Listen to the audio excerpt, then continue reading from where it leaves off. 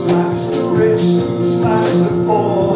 Cut, slash, hack, crawl on your knees some more. Then we take a big steaming piss on proposals to help people get out of this hell.